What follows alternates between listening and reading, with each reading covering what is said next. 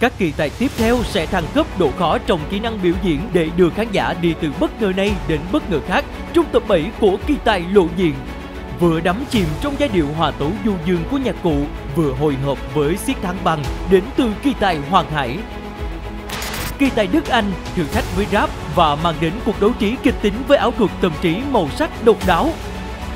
Kỳ tài Mai Thanh Vũ vui tươi đầy màu sắc trong tiết mục nghệ thuật nói giọng bụng Mời quý khán giả đón xem tập 7 kỳ tài lộ diện được phát sóng vào lúc 21 giờ thứ sáu ngày 5 tháng 7 năm 2024 trên kênh truyền hình Vĩnh Long 1.